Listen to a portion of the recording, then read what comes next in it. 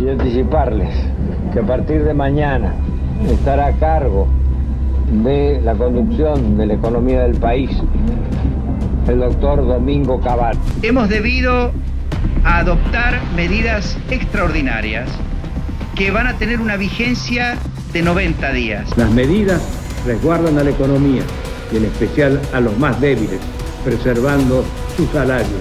Delimitación a la extracción de dinero en efectivo por cifras de 250 pesos semanales. Han ocurrido en el país hechos de violencia que ponen en peligro personas y bienes. Quiero informarles que ante eso he decretado el estado de sitio en todo el territorio nacional